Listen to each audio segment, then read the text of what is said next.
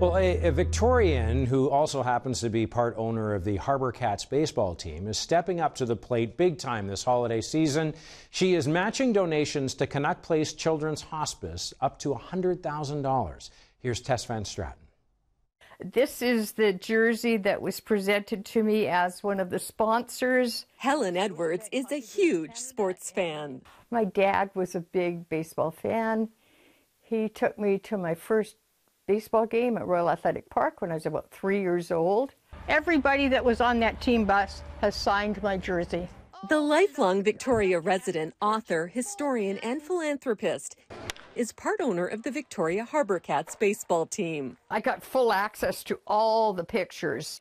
Helen even published a book about the Harbour Cats, as well as a book on the history of professional hockey in Victoria. This documents every game. Where she saw her first hockey game at the age of five when kids' tickets were just five cents. These are all my jerseys from multiple sports. Helen would go on to score big by buying shares in the Vancouver Canucks. When the Griffith family owned the Canucks, I had a very, very small share. But as I tell him every time I see him, when he bought me out, he set me up for life. Tristan was a light wherever he went. Helen's love for the Canucks extends to Canuck Place Children's Hospice, which she's supported since it first opened its doors three decades ago. One of my daughters had a had a stillborn child that devastated the family.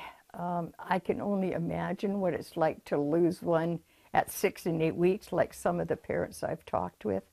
It's why Helen, who almost lost her son after he had a severe allergic reaction in high school, is once again supporting Canuck Place's annual Light a Life fundraiser, matching donations up to $100,000.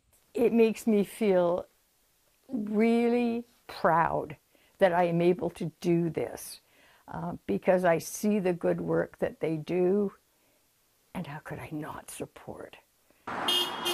The support comes at a crucial time with Canuck Place and other charities hard hit by the Canada Post strike this holiday season. It's incredibly important because right now, especially with the mail strike, we need those online donations to be able to come in. And annually, 60% of our budget is from the community. These are from the Victoria Maple Leafs. With a goal to give back, Helen's donated more than half a million dollars to Canuck Place over the years and supports around 20 different charities. Hitting a home run as a community champion. Helen Edwards is an incredible human being. She is there for us and has been for many, many years and many charities throughout Victoria and BC. She's leaving a true legacy. This is a stick from 1925. For Helen, stepping up to the plate and giving back is just how she plays the game. And I got that from my parents because even when they had very little money, they would give their time. I've lived in this city all my life and it's been very good to me. And I just have to give back. Vital People, brought to you by the Victoria Foundation, connecting people who care with causes that matter.